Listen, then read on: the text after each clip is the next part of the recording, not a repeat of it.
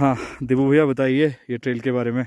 ये लौट कर जन है। जी। तपो तपोवन टू रूपकुंड एंड वहाँ लास्ट एक वहाँ विलेज है। जी। वहाँ तक ये करता है। ये 300 किलोमीटर का डिस्टेंस है। अच्छा। और ये लौट कर जन 1918 में स्टार्ट हो गया था। अच्छा। तो कोई फॉरनर्स आए थे होंगे विदेशी लोग। मुझे मैं मैंने सुना है कि इंग्लैंड से कोई जॉर्जिया नाम का एक ट्रैकर आया था तो उन्होंने यहाँ पे रिसर्च किया था। अच्छा। तो उन्होंने यहाँ पे वन मंथ लगाया था ये लॉर्ड कर्जन ट्रेल निकालने के हम्म, लिए। हम्म, तो उस टाइम का एक गाइड था यहाँ पे जी। जिसका नाम श्री उमेश चंद फरसान जी है एंड जय सिंह फरसान जी। जी। तो उन दोनों ने उनके साथ में मतलब पोल्ट्री की थी एंड गाइडिंग का काम भी किया हुआ था। अच्छा। तो वो उससे पहले बकरी चराते थे तो उन्होंने ये लॉर्ड कर्जन के बारे में एक फॉरनर्स को बताया जो जॉर्जी नाम का था। अच्छा। तो उन्होंने ये ट्रेल स्टार्ट किया। हाँ हाँ। तो आपको कैसा लगा यहाँ पे जो एक हमारे पास ट्रैक हमको तो बहुत मज़ा आया भाई बहुत मज़ा आया।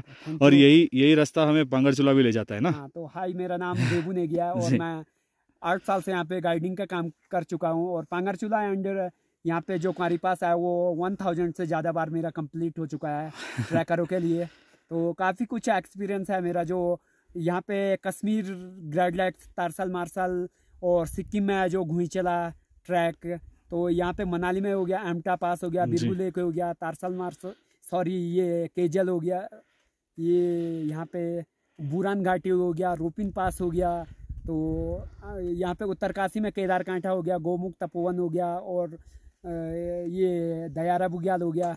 उत्तराखंड में मुझे लग रहा है ऑलमोस्ट जितने भी ट्रैक होंगे रोपुंड से लेकर इधर पनपत्या ग्लेशियर पनपत्या कोल और कामेट एक्सपीडिशन मेरा सबसे हाई अल्टीट्यूड समिट हुआ है। वो एक्सपीडिशन है टू मंथ वन मंथ का है और मैंने दो बार किया हुआ है वो आर्मी के साथ में। बाकी थैंक यू थैंक यू